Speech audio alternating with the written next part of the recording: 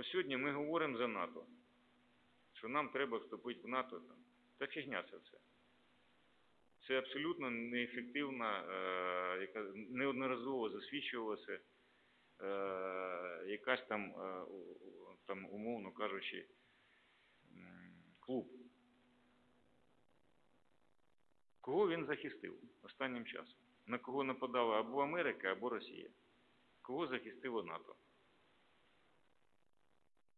Нікого. Бомбило Югославію свого часу. Центр Європи. Наносило авіаудари, встановлюючи демократію. Що авіаударами демократія встановлюється? Інші е, точки, де була позиція НАТО?